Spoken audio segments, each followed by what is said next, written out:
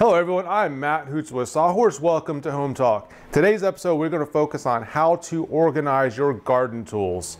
Now I've got a bunch of garden tools behind me. They've just been piling up around the house and in the garage and I want to get them out of the way so I can have a place to work in my shop. Let's take a look at some of the tools and supplies I need for this project.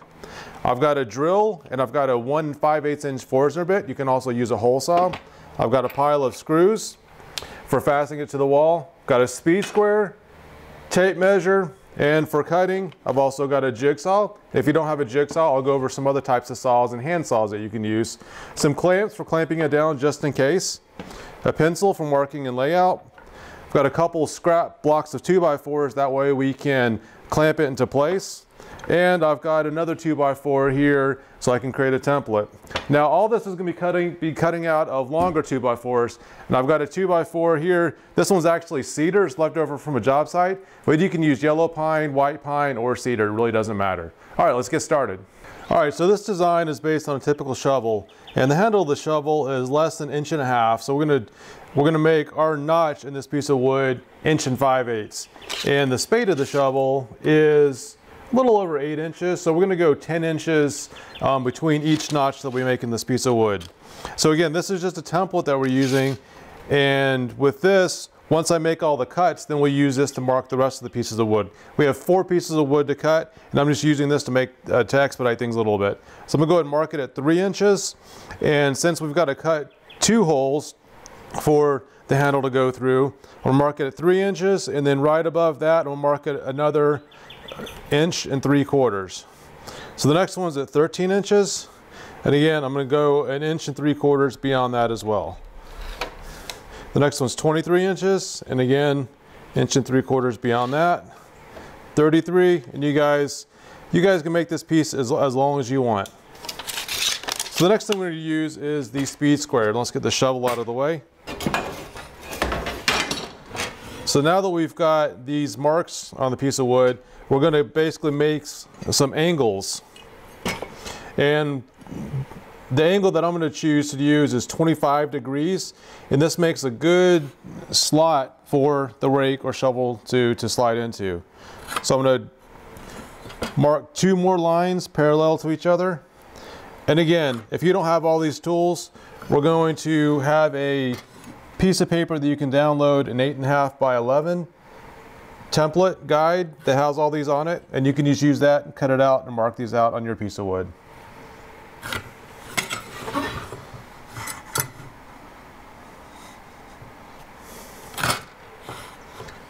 Mark one more out.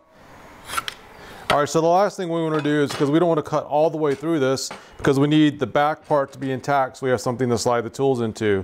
So I've got a straight edge here and this measures about an inch and a quarter. So I'm going to line this up with the back edge. Then I've got one more mark that I'm going to,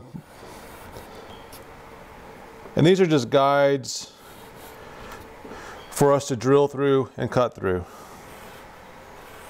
Now we try to keep it simple. We try to keep this where you can use a basic, some basic hand tools, and I'm going to use a drill in this case.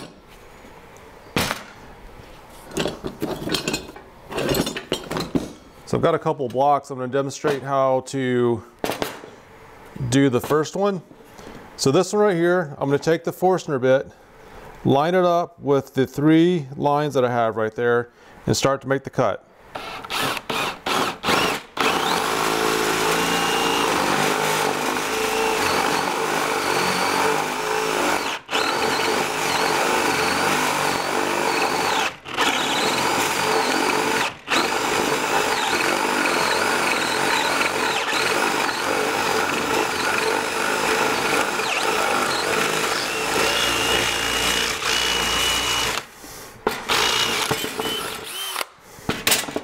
We've got a nice hole here.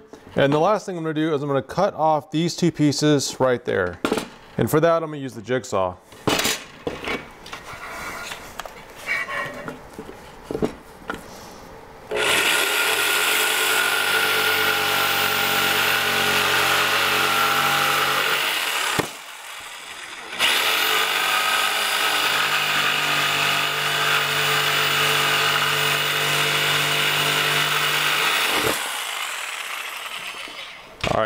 Take a look at that. So this right here is the notch that the tool is going to slide into. Now I've got another 40 more of these to do. So I'm gonna go ahead and um, do the rest of these and then we'll show you how to assemble this and hang it on the wall. All right, it's almost time for assembly. Let's, let's review some of the things we've done to date. We went over how to cut out these notches right here. I've got 44 of them. I've got four of these boards total. And next we're gonna go how to lay out the ledger boards, which is gonna hold all this together. Then after that, we screw it together and install it, and then we're done. So I've got three of these boards and I've got notches that I cut into these. So I've got three notches like this, which is gonna hold all four of the vertical boards together. So the horizontal boards, I've got these cut at 60 inches and since I've got four of these, these are gonna be 20 inches on center. So I've got 20 marked right here, but since this is a two by four, which is an inch and a half, I'm going to mark this at 19 and a quarter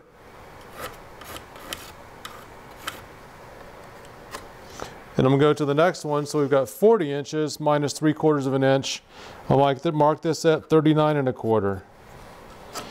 And I'm marking through all three at the same time just so it's more efficient.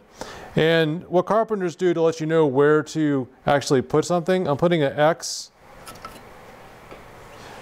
where the center is. And this way, when we screw these together, we know which side of the line to put it on. All right, next step is assembly.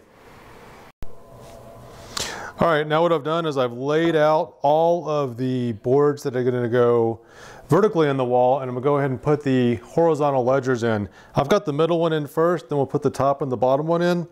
And the reason I'm assembling it on the ground and lifting it in place is very lightweight. It's easy to, for me to manage and probably most of you all to manage. And it's easier trying to assemble this on the ground versus trying to put the ledger boards up in the wall and assembling it that way. This also makes it stronger. So what I'm gonna do is I'm gonna screw this in through the back because the ledgers are gonna go up against the wall. And I'm gonna put two screws in each one. And I'm using cedar, but most other woods that you can be using are pretty soft woods, so you don't have to worry about it splitting. I'm gonna come in at about um, an inch off each edge.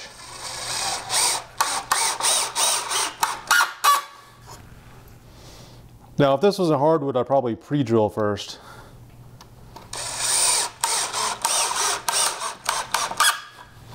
So I'm gonna do two for each of these. And remember before we had that little line? So the line is right here. I've got it lined up perfectly. I'm gonna go ahead and screw these in now. These are all 20 inches on center. Now that you've got the first two in, go ahead and put six more, and that's two in each of the additional boards and then once you have all those in you can screw in the top and bottom ledgers as well. All right after a little bit of wrestling I finally got this into its final destination and now the final step is to attach it to the wall. Since I know that there's a stud right here these ledger boards are going to act as a good way to hold things in place without us having to find studs for each of these. Now I'm going to go ahead and drill it in place.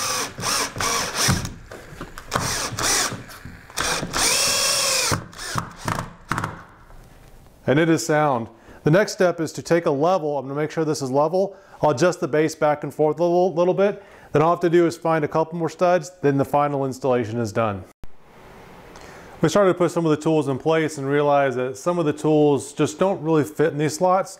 So we've got these ledger boards, I'm gonna go ahead and put up a couple nails, that way we can hang up some of our loppers and our clippers.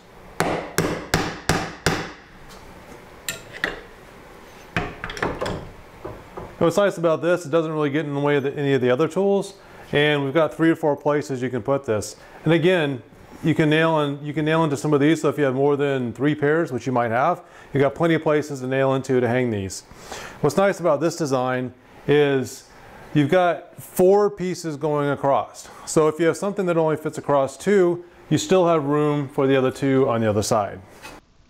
We used a five gallon bucket for some of the tools like post hole diggers that didn't fit on the rack very cleanly and overall we were able to get over 30 tools on this whole assembly which made room for other items in the garage such as soccer goals, basketballs, and also soccer balls. Thanks again for watching our video and for your convenience, we've loaded up the next video. Just click on the next button over there. And also if you liked the video and you want to see more just like it, go ahead and subscribe to our channel. Make sure you hit the notifications and we'll see you next time.